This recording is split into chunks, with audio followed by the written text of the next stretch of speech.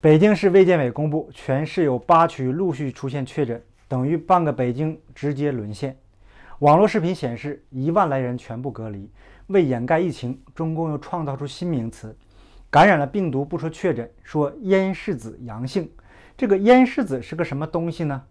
另外又有视频显示，继北京新发地市场后，郑州大型农贸市场也关闭了。共产党的品质告诉我们。实际情况远比他们公布的严重的多。据说这一次他们又要甩锅给三文鱼。如果您对这样的话题感兴趣，请记得订阅一下吧。大家好，欢迎来到德传媒，我是 Gary，这里不卖货，只交朋友。您还好吗？总加速师刚刚发布了三点七万字的亲自领导、亲自指挥、亲自自我吹捧的抗疫白皮书之后，直接被打脸。这次来的有点快。卫健委今早报告时指出，北京市有八个区连续十四日以上无新增本土病例，分别为平谷区、延庆区等八个区。不过，这就意味着另外八区近来有确诊出现，等于啊，半个北京市已经沦陷。就在中共内部还在因为要不要摆地摊互怼的时候，突然传出了惊人的消息：北京市丰台区花乡地区的新发地批发市场。新增八名确诊病例。这个新发地市场啊，现有固定摊位两千个左右，定点客户四千余家，占地一千六百八十亩。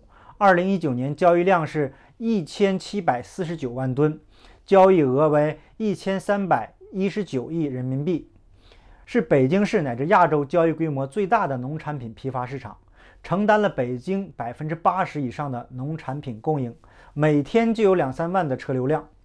人员往来呀非常复杂，并且难以跟进追查。目前呢，中国包含了江苏省苏州市、辽宁省大连市、呃辽宁省丹东市，还还有这个黑龙江省哈尔滨市、山西省的吕梁市等地啊，均要求民众暂勿前往北京市，并要求啊五月三十日以后曾到过北京新发市场等中高危险地区的人应自行报备。由于北京丰台区已升级为高风险地区。民间呐陷入了恐慌，许多人纷纷出门抢菜。北京永辉超市内的蔬菜已扫空，货架上空空如也，而市场外的排队人龙也是深不见底。该市民对此感叹：家门口的超市已经被扫空了，只能在网上囤菜了。可是线上平台呢，同样出现部分区域一菜难求的情况。虽然北京市政府称，为了应急，已从河北、山东、内蒙古、辽宁等地。这个调蔬菜进京，并采取点对点的方式运送菜货，但官方的说法似乎早已得不到民间的信任。市民呢，仍冒着病毒风险，早早的前往各大超市抢购蔬菜。由于中共的隐瞒和掩盖啊，不知道又会带来怎样的灾难性后果。网络上也传出了医院的内部消息，说这次北京的疫情比较凶险，防不胜防，他们下了死命令。让哪儿都不要去，因为一到两周后才会爆发。现在是潜伏期，这次的情况比上次要严重的多。按时间推算呢，两周以来，去过新发地的人至少有十几万，都是潜在的密切接触者。与这些人接触的人数更多，少说也有几十万。接触者可能就在您身边。虽然消息的可靠性啊还有待证实。但是从中共的一贯隐瞒、撒谎的品质来看呢，以及他们一系列的动作，比如第一时间派出武警封锁，还有视频中大量的穿着全套防护装备的医疗人员进驻检测，还有按照官方的说法，六月十三日通报的三十六例新增病例当中，最早一例是在五月二十八日就已经进入了新发地了，可想而知疫情的严重程度啊。为了继续忽悠韭菜们，中共官方未加定义而突然抛出了咽拭子阳性，令大陆媒体都措手不及。这个咽拭子阳性是个什么东西呢？北京疫情在新发地爆发以后啊，北京市当局对新发地从业人员进行了核酸检测。六月十三日，北京市疾控中心副主任庞星火通报称，在新发地采集的五百一十七件样品中有四十五人咽拭子阳性。不过，报道并未对咽拭子阳性进行解释。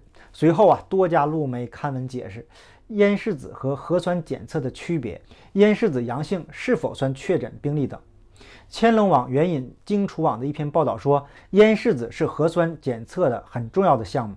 人体感染病毒后啊，首先会在呼吸道系统中繁殖，因此可以通过检测痰液、鼻咽拭子中的病毒核酸来判断人体是否感染病毒。但同一篇报道中又提到，咽拭子和核酸检测两者的区别：核酸阳性说明标本中存在病毒核酸。意味着感染者可能具有传染性。该报道之后并未对咽拭子检测加以解释，转而对抗体检测进行介绍。似乎咽拭子检测与抗体检测又有一定的联系，这是怕韭菜们恐慌，拐着弯儿的忽悠啊。另外啊，澎湃网的报道说，咽拭子即代表核酸检测阳性，也就是说，新发地被检测咽拭子阳性的四十五人体内携带病毒。报道却又强调，咽拭子阳性。不代表病毒确诊病例。中共官方再一次玩起了文字游戏。海外华文媒体万维网对此评论说，党媒还对这个新词进行了驴唇不对马嘴的这个解释，又想瞒天过海。我个人看来啊，这个咽拭子阳性实际上就是感染了病毒。这次的文字游戏玩的实在是不太高明。除了玩文字游戏，他们还继续想甩锅，这次甩给了进口的三文鱼。稍有点生物常识的人都知道，三文鱼属于鱼类，是低等的生物。鱼类是用鳃呼吸的。这一次的病毒属于肺炎类，真是神奇的甩锅呀！中共我看呐是没人了。过去中共靠谎言暴力对付老百姓那一套啊，在这个看不见摸不着的病毒面前彻底不灵了。疫情的发展能瞒得住一时，但是纸是包不住火的。病毒可不听党的指挥。一个简单的逻辑。当初的疫情那么严重，这个路人呢走着走着就倒了，全中国的韭菜被关在家里四十多天。别管中共的这个媒体怎么忽悠，我们只看他们的行动。记得一位网友曾经说过，全世界有史以来没听说过某些疫情，前两天还几万个，突然从今天就几十个了，这犹如神助啊！这是开坛做法了吧？说清零就清零啊！看来呀，还是有很多清醒的人。中共的话呀，谁信谁死。不管你信不信，反正我是不信。几天前呢，这个北京严禁摆地摊儿，恐怕呀，他们早就知道疫情的严重程度，所以啊，他们才严这个严厉的打击摆地摊儿。最后呢，倒霉的永远是后知后觉的韭菜们。网上还有视频传出，一些小区的扩音器里不间断的通知当地居民：最近一个月去过北京吗？赶紧到这个居委会通报。您觉得这个事儿恐怖吗？稍加思考就知道，第二波疫情可能早就出现了，或者是第一波疫情根本就没有结束过。为了所谓的零确诊抗疫白皮书，他们一直在隐瞒。现在到了捂不住的时候了，就在半个北京城都沦陷的时候，总加速师一看事儿不好，直接跑了。上期视频中我还猜想，为什么没事去宁夏考察那个坑呢？现在终于明白了，他比兔子溜得都快。这个时间点踩的可真准呐！他们应该早就知道问题的严重程度，总加速师同志闻声跑路，也没有亲自指挥、亲自部署了。这个逃命要紧呐！我们可以看出，现在内外交困的中共政权处于崩溃的前夜。近日呢，有分析说，疫情造成的失业大潮和经济困境，令中共统治的合法性面临前所未有的挑战。对总加速师而言，最大的梦魇就是中共像苏联一样。崩解垮台。日经亚洲评论刊文说，当前中共面临的最棘手问题是失业潮。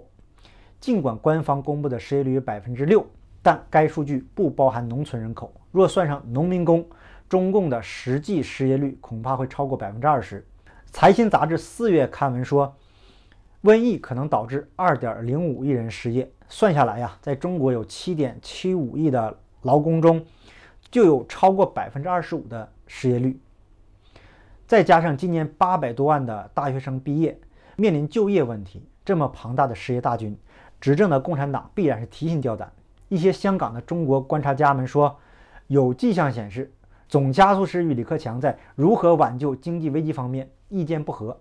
李克强五月二十二日在中共人大会议上做的政府工作报告中，打破传统，罕见的没有设定今年的经济成长目标，也明确表达对失业潮的关切。日本专家对于李克强在人大会议上不寻常的工作报告解释说，这个总加速师的亲信呐，希望李克强对于经济展望发表乐观的陈述。以宣扬在总加速师的领导下，中共取得了所谓的防疫胜利。但负责财经政策的李克强，却在两会结束后的记者会又透露了中国六亿人的月收入刚过一千元。后来财新网又做了详细的报道，说人均月收入一千零九十元。所以啊，后来才有了李克强提出的发展地摊经济。于是呢，哈尔滨的摊主们就进了一大批货，可是突然间又不让摆地摊了。这些人呢，一夜之间成了访民。神奇的事情不断的在强国上演，每一件事情的出现呢，都一再的提醒大家，不要再执迷不悟了，不要再相信中共了，远离中共，拒绝中共，才能远离病毒与灾祸，保住平安。如果您认同我的观点呢，请记得订阅、点赞、留言、分享。好，再一次感谢您的支持与鼓励，我们下期节目见，拜拜。